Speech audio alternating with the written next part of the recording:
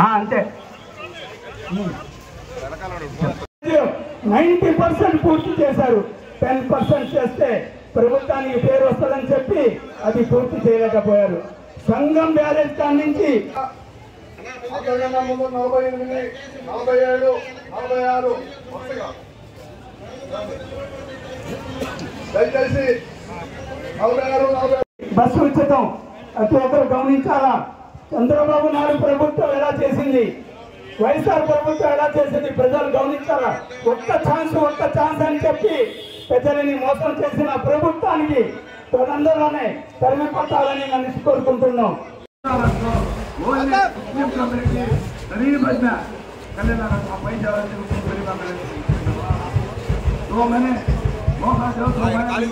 ఒక్కసారి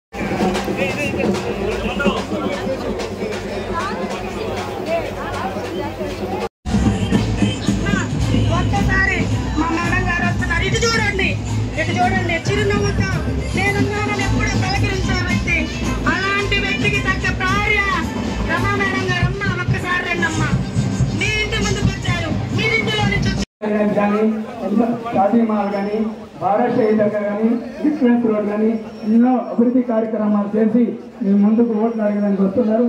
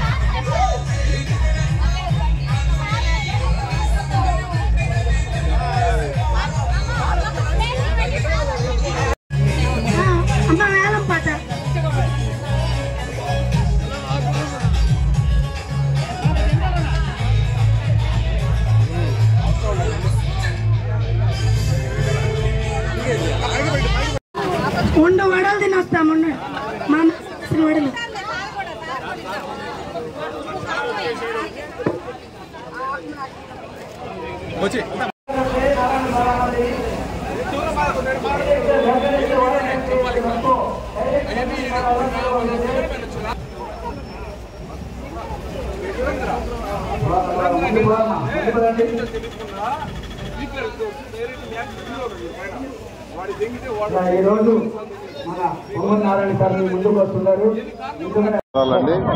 ఈరోజు నలభై ఎనిమిది డివిజన్లో డోర్ టు డోర్ ప్రచారం చేయడం జరిగింది. నిజంగా ఇక్కడ ప్రజల స్పందన అనూహ్యం. ఎక్కడికి పోయినా చిరునవ్వుతో స్వాగతం చెప్తున్నారు. దానికి కారణం ఏంటంటే వాళ్ళకి చేసిన పనులు ఇంకేం లేదు. వాళ్ళు ఒకటే చెప్తున్నారు ఈ రోడ్లు వేసింది మీరు ఈ కాలువలు కట్టింది మీరు పార్క్ కట్టింది మీరు. ఇలా పనులు చేసినప్పుడు ప్రజలు మనసులో పెట్టుకుంటారు ఆదరిస్తారనే దానికి ఈ ఉదాహరణకి ఈ యొక్క డివిజన్ నలభై డివిజన్.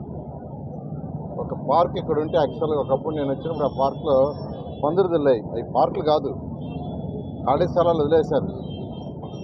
అట్లాంటి బ్రహ్మాండంగా చేస్తే అసలు ఆ పార్క్లో ఉండేవాళ్ళు వదలగానే విష్ చేస్తున్నారు. ఆ పార్ట్లో ఉండేవాళ్ళు వదలగానే విష్ చేస్తున్నారు. ఆ పార్ట్లో ఆడుకుంటుండేవాళ్ళు చిన్నపిల్లలకి చక్కగా జిమ్స్ పెట్టాం. తర్వాత కంప్లీట్గా బ్రహ్మాండంగా డెవలప్ ఇదొక్కటే కాదు నెల్లూరులో అన్ని పార్కులు డెవలప్ చేశాం. ఇంకా కొన్ని మెయింటెనెన్స్ లేదు. గ్రాస్ పోయింది. జనరల్గా పార్క్ అంటే చక్కగా గ్రాస్ ఉండాలి జిమ్లు ఉండాలి పిల్లలు ఆడుకోవడానికి. అన్ని పార్కులు ఆల్మోస్ట్ గ్రాస్ అనేది గ్రాస్ ఎప్పుడు వస్తుందంటే రెగ్యులర్గా నీళ్ళు పెడుతూ ఆ గ్రాస్ను మెయింటైన్ చేస్తుంటే వస్తుంది. ఇవన్నీ చేయాలి. ఇవన్నీ అధికారుల చేత ప్రజాప్రతినిధులు చేయించాలి. ప్రజాప్రతినిధులు చేయించాల్సింది ఏంటంటే అధికారుల దగ్గర చేయించాలి. వాళ్ళ కార్డు చేయించాలా? అధికారులని ఏ బిల్డింగ్లు ఎప్పుడు బాగుపడతాం ఎవరి లైసెన్సులు క్యాన్సిల్ చేస్తాం? ఎవరు మనోడు కాదా? వాడి షాపింగ్ లాక్ చేస్తామా ఇది తప్పితే ప్రజల అవసరాలు చూడాల రెండు వేల పద్నాలుగు నుంచి ప్రజల అవసరాలు చూసాం కాబట్టి ఈరోజు ఆదరిస్తున్నారు. నేను అందరికీ ఒకటే చెప్తున్నాను.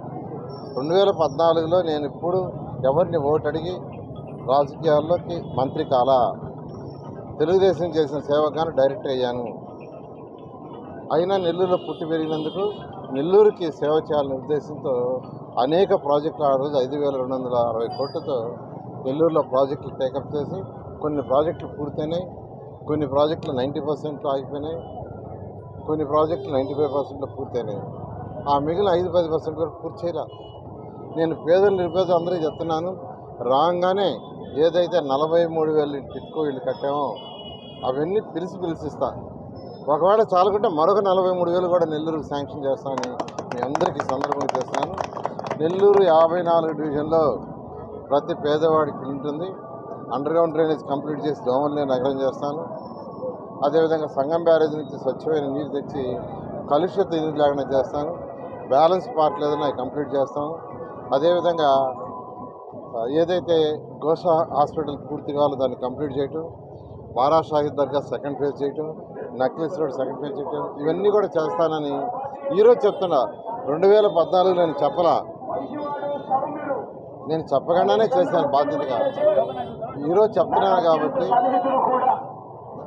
ఈరోజు చెప్తున్నాను కాబట్టి ఖచ్చితంగా మాట నిలబెట్టుకుంటాను మీ అందరికీ తెలియజేస్తూ మీ అమూల్యమైన ఓటుని ఎమ్మెల్యేగా నాకు ఎంపీగా వేమిరెడ్డి ప్రభాకర్ కేసు గెలిపించాల్సి నమస్కారం అండి. ఈరోజు నలభై ఎనిమిదవ డివిజన్లో ర్యాలీ జరిగింది. పొంగూరు నారాయణ గారితో పాటు ఆయన సతీమణి నేను రమాదేవి కూడాను మేమందరం కలిసి పాల్గొన్నాము. ప్రతి ఒక్కరూ ఉదయం ఏడు గంటలకే మొదలయ్యింది. అయినా కూడా ప్రతి ఒక్కరూ వారి యొక్క విండోస్ దగ్గరకు వచ్చి బాల్కనీల మీద కుండి కొంతమంది ఇంటి బయటకు వచ్చి వాళ్ళు నేరుగా మాలో కలిసి ఆ విధంగా ప్రతి ఒక్కరూ వారి యొక్క మద్దతుని చాలా ఆనందంగా చాలా ఫ్రీగా వాళ్ళ చేతులు వేవ్ చేస్తూ ఇలా ఇలా విక్టరీ మార్క్ చూపిస్తూ తప్పకుండా తప్పకుండానమ్మా అని చెప్పి ఆశీర్వాదం లాగా చూపిస్తూ అలాగే నమస్కారాలు పెడుతూ ఒక్కొక్కళ్ళు వారి యొక్క మద్దతుని వివిధ రకాలుగా మాకు చూపించి ఆశీర్వదించి పంపించడం జరిగింది. ఈ ఏరియాలో మన్సూద్ నగర్ ఏరియా కానీ కుద్దూస్ నగర్ కానీ ఈ ఏరియాలలో కానీ అంతకు ముందు వారికి ఎప్పుడైతే రెండు వేల పదహారులో చాలా నీళ్ళు వచ్చి నడుములోతు నడుము లోతు నీళ్ళల్లో పద్నాలుగు రోజులు ఉన్న రోజులు బాగా గుర్తున్నాయి. ఒక మహిళ నాతో చెప్పింది అమ్మా ఆ రోజు రెండు వేల పదహారులో మేమందరము ఆ నీళ్ళల్లో ఉండిపోయాము బయటకు రాలేని పరిస్థితి ఇంట్లో నుంచి. అట్లాంటప్పుడు సారు ఆ పద్నాలుగు రోజులు ఇక్కడే ఉన్నారు.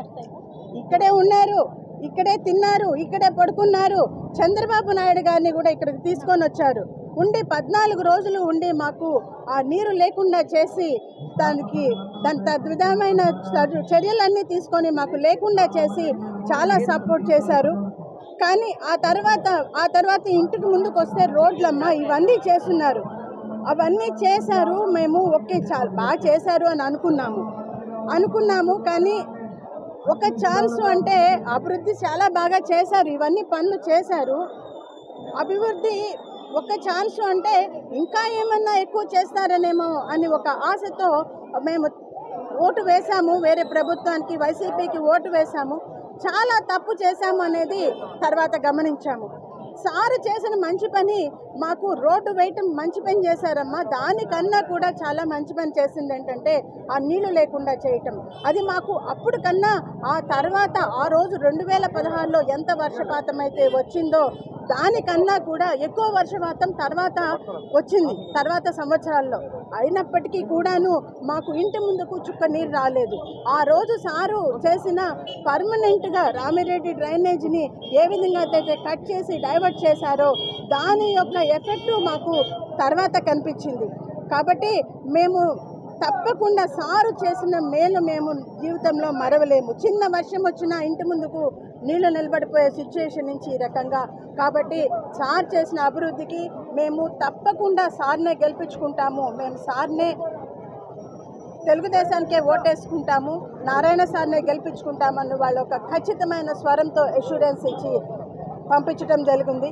మన తెలుగుదేశం మన సైకిలు మా సైకిల్ గుర్తుకు ఓటేసుకొని మా తెలుగుదేశాన్ని గెలిపించుకుంటాము ఎమ్మెల్యేగా నారాయణ గాని ఎంపీగా వేమిరెడ్డి ప్రభాకర్ రెడ్డి గాని అని చెప్పి ప్రతి ఒక్కరూ ఆశీర్వదించి పంపిస్తున్నారు వారి యొక్క కృతజ్ఞతాభి వారందరికీ నా హృదయపూర్వక నమస్కారాలు థ్యాంక్ యూ अभिवृद्धि है अभिवृद्धि मतलब नारायण सर वो क्यों कहा जाता है हमें सबको पता है और एक बार मैं याद दिलाना चाहती हूँ कि नारायण सर जबकि माँ बाप के बाद उसका दर्जा किसको मिलता है? आप सभी को पता है, गुरु को मिलता है वो दर्जा। वो